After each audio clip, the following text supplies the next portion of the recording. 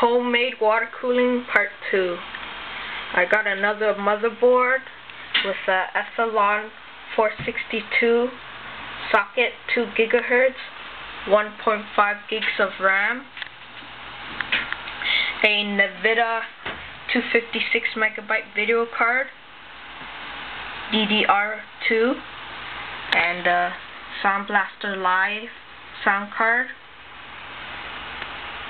with a 80 gig Western Digital hard drive for 7200 RPM a uh, LG DVD writer and CD writer a 450 watt power supply and uh, the water block I got off of eBay with a homemade bracket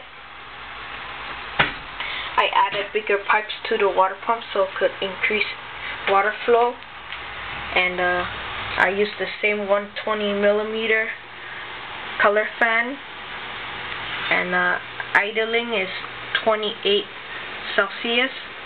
And the load is 32.5 Celsius with the same water pump I used.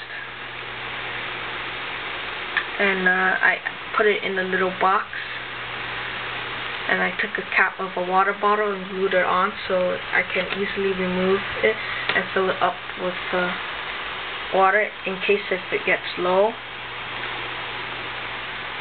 And I'm running Windows Media Center edition 2005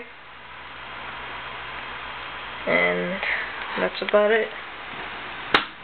It runs way quieter than before instead of with the fan, so yeah.